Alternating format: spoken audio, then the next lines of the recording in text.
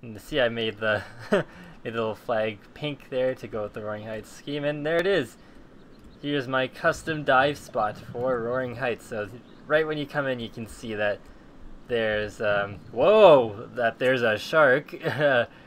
whoa, okay, that was out of nowhere.